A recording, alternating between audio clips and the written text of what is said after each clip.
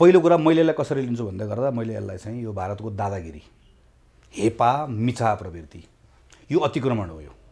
यहाँ कुनै अरू कुरै छैन। र यसमा चिनले पनि हामीलाई सँगसँगै भारतको यो मिछा र पेला प्रवृत्तिमा चिनको पनि न्यानो साथ रह्यो। हामीलाई दुइटै असल मित्रहरू जोसँग हामीले साथै मित्रवत सम्बन्ध राख्न चाह्यौँ। यो सिमानाको सम्बन्धको कुरा मात्र टाइमिङको सम्बन्ध टाइम यो हेर्नुहोस् न होइन? यो त्यति संवेदनशीलता पनि नराखेको एउटा यसको एउटा अवस्था रह्यो। हामीले यसमा यत्रो ठुलो अब्जेक्सन गरिसके पछाडि पनि भारतले यो यो विषयको सन्दर्भमा चाहिँ उसले कसरी लियो त? उसले यो कोरोनाको महामारीको छलफल गरौँला मेरै आफ्नो भूभागमा बनाएको भनेर यो विषयका सन्दर्भ यसलाई डिसमिस गर्ने पन्छाउने कुराले उसले उसको रवैया अलिकति पनि बदलिएन र उसले अलिकति पनि दबाब महसुस गरेको छैन भन्ने कुरा दोस्रो कुरा यसमा रह्यो। तेस्रो कुरा अब हाम्रो पार्टबाट हेरौँ। हाम्रो पार्टबाट दुई हजार पन्ध्रमा सुशील कोइराला प्रधानमन्त्री भइरहेको बेलामा त्यतिखेर मोदी र भारतीय प्रधानमन्त्री र चिनको चाहिँ प्रिमियरका बिचमा भएको बैठकमा एउटा खालको चाहिँ यसलाई व्यापारिक नाका खोल्ने भन्ने सम्झौता भइसकेपछि चाहिँ तुरुन्त नेपालले अब्जेक्सन गर्यो। त्यो अब्जेक्सन गरेपछि हाम्रो कस्तो अवस्था रहेछ भनेदेखि भने चाहिँ हामीले यस्तो कुराहरू एउटा प्रकरणको रूपमा आइसकेपछि हामी सबैको कुरा त्यसलाई हामी प्रतिक्रिया जनाउने।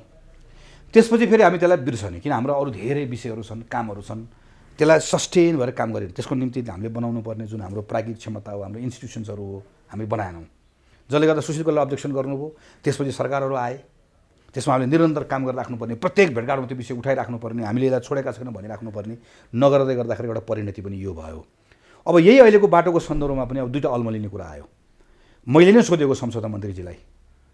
तपाईँले चाहिँ यो बाटोको विषयको सन्दर्भमा दिलेन्द्र बडुले मङ्सिरमा पार्लियामेन्टमा कुरा उठाउनु भएको रक्षा मन्त्रीजी गएर हेर्न जानुभयो यो के हो त यो भनेर सोध्दै गर्दा मन्त्रीजीले के भन्नुभयो भन्दै भने यो त हामीलाई थाहा नभएको त कुरै होइन हामीलाई थाहा थियो होइन भारतले रातारात बनाएको होइन थाहा थियो र हामी यसमा काम गरिरहेका थियौँ भनेर भन्नुभयो तर फेरि क्याबिनेट र प्रधानमन्त्रीले के भन्नुभयो भने मलाई थाहै थिएन भनेर भन्नुभयो अब यो त यो त यो त यो त सरकारले आफ्नो यो आफ्नो भित्र गम्भीरतापूर्वक विषयमा छलफल गर्नुपर्ने कुरा भयो अब किनकि म as a member of parliament त मैले मेरो प्रधानमन्त्रीको कुरालाई कसरी लिने त अब मेरो फाइनेन्स के अरे मेरो फरेन मिनिस्टर पार्लियामेन्टमा मेरो क्वेसनको एन्सर गर्दै गरेर आएर के भन्नुहुन्छ भने हामीलाई पहिलेदेखि थाहा थियो भन्नुहुन्छ।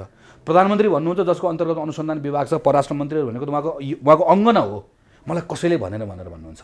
दार्चुलाको सिडिओ पत्रिकामा अन्तर्वार्ता दिनुहुन्छ हामीले छ महिना सात महिनादेखि आठ महिनादेखि चाहिँ माथि भनिरहेका थियौँ भनेर होइन? सो यो त्यसैले यो विषयको सन्दर्भ अब के गर्ने भन्ने कुराको सन्दर्भमा चाहिँ हामीले अहिले के भनिरहेका छौँ यो सिङ्गो देश खास गरी नेपाली काङ्ग्रेस प्रतिपक्षी दल ल सिङ्गो देश हामी यो बेलामा सरकारको साथमा छौँ।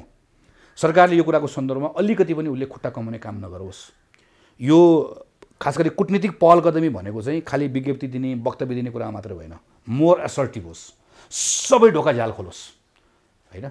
सबै पक्षबाट। उसले उसले यसलाई अहिले अहिले अहिले चाहिँ रा जस्तो मेरो मेरो ठाउँबाट मलाई कसरी सोध्छु भनेदेखि भने हाम्रो प्रधानमन्त्रीले तुरन्त भारतको प्रधान आफ्नो कुटनीति च्यानलबाट हामीले डिप्लोमेटिक नोट दियौँ उसलाई बोलाएर भन्यौँ हाम्रो चाहिँ राजदूतले गएर भन्नुभयो त्यति मात्र होइन हामीले हामीले तुरन्त भारत भारतको प्रधानमन्त्रीसँग हाम्रो प्रधानमन्त्रीले कुराकानी गर्नु पऱ्यो मैले कुराकानी गर्न चाहेको छु भनेर भन्नु पऱ्यो हाम्रो असहमति दर्ज गर्नु पऱ्यो चिनसँग पनि गर्नु पऱ्यो तिमीहरूको यो यो विषयमा धारणा के हो भनेर भन्नु पऱ्यो र नेपालले यो विषयलाई छोड्दैन भन्ने कुरा एकातिर पोलिटिकल मेसेज अनि अर्कोतिर निरन्तरको तयारी। जस्तो अहिले हाम्रो बोर्डरमा बोर्डरभन्दा धेरै वरसम्म मात्रै हामीले अहिले सशस्त्र प्रहरी पठाउने कुरा गऱ्यौँ। होइन? मैले त यसपालिको बजेटमा रिफ्लेक्ट हुनुपर्छ। यसपालिको बजेटमा हामीले बकैदासँग जुन दार्चुलाको मान्यजीले कुरा उठाइराख्नु भएको छ उसले बाटो बनाएको भनेको ठाउँमा यसपा यसपालि बरु अरू पाँच ठाउँको कुरा सडकको कुरा काटेर भए पनि त्यो सिमानासँग पुग्ने त्यो ठाउँसम्म जाने हाम्रो बाटोलाई हामीले स्तरोन्नति गर्ने यी कुराहरूमा तत्काल हामीले हामीले तत्काल लगानी गर्ने सिमानाको सन्दर्भमा चाहिँ हामीले त्यहाँभित्र हाम्रो सुरक्षाकर्मीहरूलाई अतिरिक्त थप परिचालित गर्ने। सो देशभित्र पनि हामीले हाम्रो इन्स इन्स्टिट्युसन्सहरू बलले बनाउने हामीले हामीले हाम्रो नक्साहरू सार्वजनिक गर्ने तयारी गर्ने अरू अरू भोलि गएर यो अन्तर्राष्ट्रिय अदालतमा पनि जान सक्छ भनेर त्यसको लागि चाहिने सामग्रीहरू जम्मा गर्न थाल्ने एक। दुई नेपालले हामी गनगन गरेर बस्ने मात्र होइन। हामीले हाम्रो सुरक्षाकर्मी परिचालित गर्ने बाटो बनाउनु पैसा खर्च गर्ने हामीले सुरु गऱ्यौँ भनेर भन्ने दुई। तिन चिनसँग कुरा गर्ने। चार भारतसँग कुरा गर्ने। पाँच हामीले मौका पाएका सम्पूर्ण इन्टरनेसनल फोरममा जहाँ छ त्यहाँ चाहिँ अहिले यो यसलाई अन्तर्राष्ट्रियकरण गर्ने भनेर कहीँ गएर अन्तर्राष्ट्रियकरण गर्ने भनेको कहीँ गएर चाहिँ कुनै एउटा निश्चित निकायमा गएर हामीले गएर चाहिँ एप्लिकेसन दिने मात्र होइन कि। सबै फोरममा नेपाललाई नेपालको बोर्डरका सन्दर्भमा भारतले मिछा प्रवृत्ति राख्यो र चिनले पनि त्यसमा चाहिँ असल छिमेकीको भूमिका निर्वाह गरेर नेपालले यसमा सिरियसली यो कुराको अब्जेक्ट गरेको छ भन्ने कुरा मौका पाएको सबै ठाउँमा नेपालले अब भन्दै हिँड्नुपर्छ भन्ने मलाई त्यो लाग्छ।